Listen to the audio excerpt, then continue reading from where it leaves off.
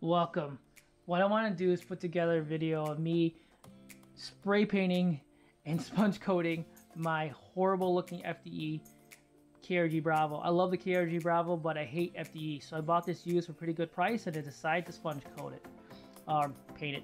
So first you're noticing that it's vertical, um, the, the, the butt end. So that's literally just a screw to the bottom uh, through a piece of plywood just to make sure it stands up and the clamp that you're seeing just to make sure everything kind of stays together. So I'm not, so I can turn it easily and then, um, you know, not have to lay it on the ground or on the cardboard. So it ends up being more gray than black, but that's literally a high temp black that you use for a barbecue grill. It doesn't need to be high temp, it just was cheaper at the store.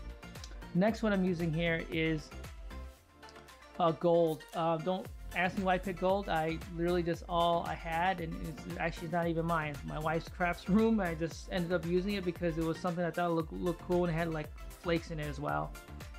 Um, I will literally put this on with the sponge, the Scotch-Brite sponge. The one thing to know here is that it's probably better that they're not squares um, cut as opposed to circular. The circulars I think blend a lot better. So to each your own for me, when I go through the video, you'll see that I'll use more of a circular one than than this square one. Maybe a combination of both is best, but anyway, just want to throw that out there. It does make a difference. You do see it a lot better more if it's square than circular. Circular seems to blend better.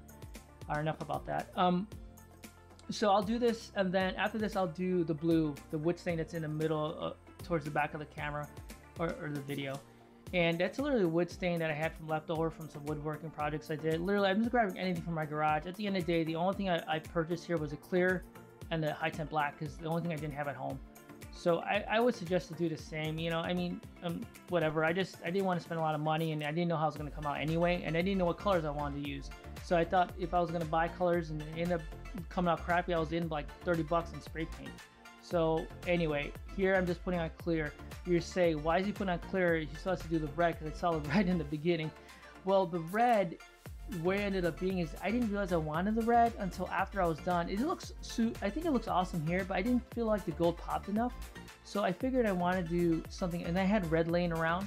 So I used this red spray, automotive spray, the wrap red I had, and I use that towards the end. So what I ended up doing is I ended up sanding this down from 1,000, 1,500, 2,000. I don't need to show that. Everyone knows how to sand. And then wet sanded it. And then from there, cleaned it off. And this is what you're looking at here. Me putting it in on the red after I sanded it down. So I obviously, if I would have planned it better, I would have not had to do this part um, and would have done it before the clear. But you know what? To it just it just happened this way. I didn't know how it was gonna come out, and I figured I wanted to pop a little bit better. The red made it look awesome, in my opinion. It, it with the gold and the blue and the black. I know you don't have to use five color or four colors, um, but at the end of the day, it, it's all I had, and I think it ended up looking pretty good. So we're almost to the end of the video here. Here, if you like it, please comment, um, subscribe. I'm start trying to start out this channel, and it's just something of a hobby of mine. You know, ever since we're all been shelter in place, shelter in place the last month here. Um, I do other videos as well, grilling, uh, other rifle builds I've done in the past. I'll start posting up on on YouTube. But anyway, long story short, um, hope you guys like it, girls. Um, please subscribe, and this is towards the end of the video. So uh, I appreciate you guys chiming in. The whole build took me about a day, just so you guys know. And there's the final product. All right, everyone. Thanks for uh, tuning in.